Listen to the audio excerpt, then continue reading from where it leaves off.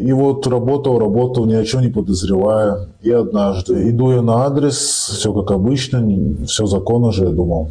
И вот там была полиция, меня задержали, я даже не понял из-за чего. И потом, оказывается, выясняется, суть в том, что этих бабушек обманывали. 17-летний кустанец рассказывает историю своей недолгой работы, сидя в управлении полиции Рудного. Жертвой людей, которые направляли молодого человека, едва не стала 84-летняя пенсионерка. 10 октября ей позвонили на городской телефон. Человек представился майором полиции, то есть сотрудником полиции, и сообщил о том, что ее внучка совершила ДТП и что необходимы денежные средства, чтобы дело не дошло до суда. А, пенсионерка, взволнованная пенсионерка обратилась за помощью к соседке, при этом была на связи со злоумышленниками.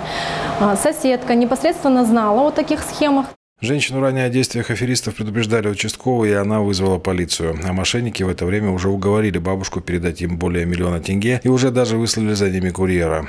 К дому он подошел одновременно с полицейскими, которым из-за своего подозрительного поведения и вида, на нем были надеты темные очки и медицинская маска, был задержан.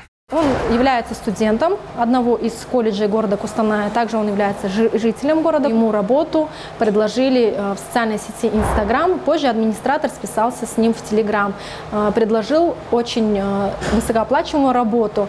От каждой сделки, от каждой передачи денег вознаграждение его было 3%. У меня вот 3 миллиона тенге наличкой. Он говорит, езжай в Кустанай, чтобы закинуть ему банк на его на реквизит. Я еду, закидываю деньги, свои отсчитываю, сколько у меня остается, и все, я свободен. Скидываю ему чеки и еду домой.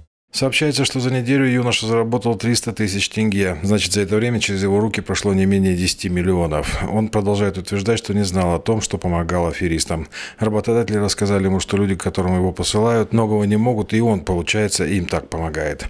Теперь в отношении него возбуждено дело по уголовной статье «Мошенничество».